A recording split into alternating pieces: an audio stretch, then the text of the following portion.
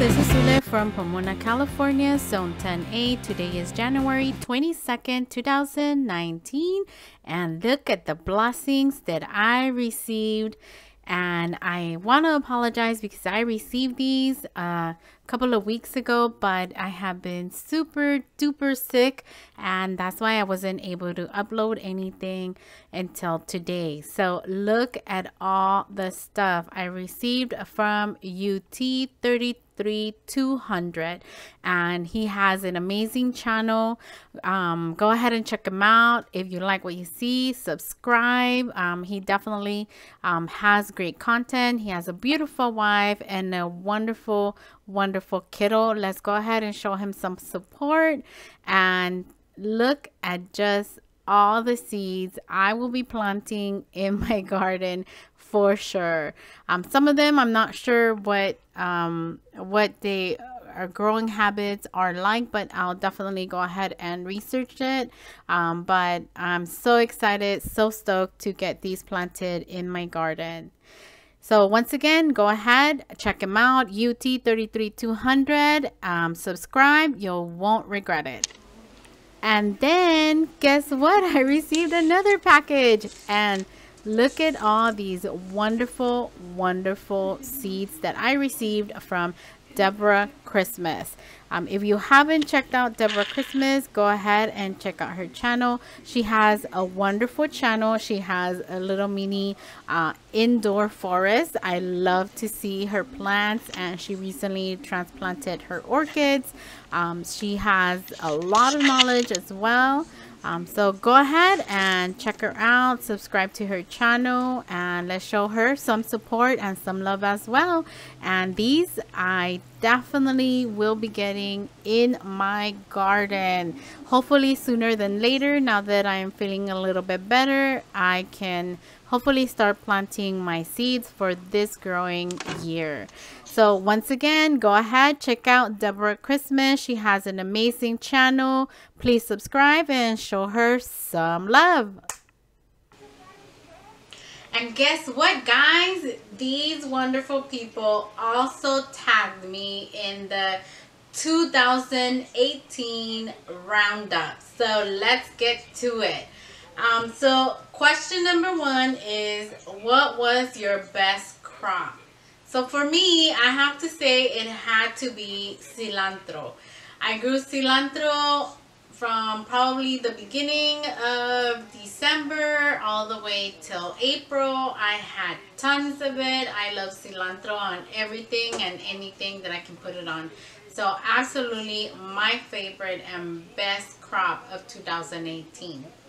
Question number two, what was your worst crop? So this is so funny because my favorite crop ever was my worst crop in 2018. So my favorite thing to grow is watercress. And unfortunately, I did plant the seeds, but for some reason, not one single seedling came up. Not even one. So that was my worst crop of 2018. Number three, what would you do differently? I think I would do differently my soil. I think that I'm so concerned about the seeds and what I want to grow and maybe some of the nutrients that they need, but I'm not very focused on my soil. And the soil is very, very important for anybody that's just starting I didn't know that when I just started, but it seems that I kind of did a quick fix and never really did more research and made any more amendments to my soil. So that's what I would do differently. I would definitely put more emphasis and more attention to my soil. Uh, question number four, what was your biggest challenge? Um, so a lot of you guys know that I am trying to sell my house and that has been a big challenge for me in the gardening area because I keep thinking well if I'm going to sell it there's no point of me planting my seeds if I'm going to just leave them behind. Um, so that has been the challenge. Now, it doesn't mean that I have stopped planting. It just means that now I'm using my containers. Um, my sale of the house isn't going so well, so I may be staying here, which I don't mind. We just wanted to buy a bigger lot, but if we end up staying, now I have to now start my seeds on my raised beds so for now, because I'm still in that limbo, am I going to sell? Am I not going to sell? Am I going to stay here? I have to resort to using my containers. Um, so that has been a huge challenge for me. You know, should I put the seed in or should I not? Should I wait?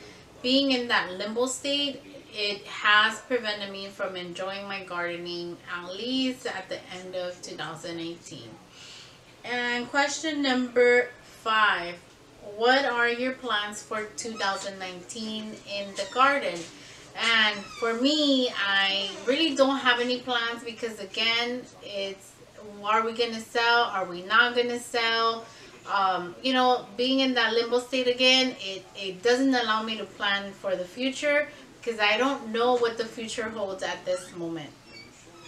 Um, question number six who inspired you in 2018? And I think this is an excellent question. Uh, for me, I have to say that for me, people that inspire me are people that come to my channel, um, people that comment and want to interact with me. Um, if you follow my channel, you know that I did not create my YouTube channel for um, views or for um, you know, to gain subscribers. Subscribers are awesome and views are awesome, but my main uh, concern and, and where I get my thrills from is that interaction with a lot, a lot of people. Um, you know, I would have to sit here and name 10,000, just so many to name, but just just having that interaction with people and and just making those friendships. Thank you so much for your support for your love.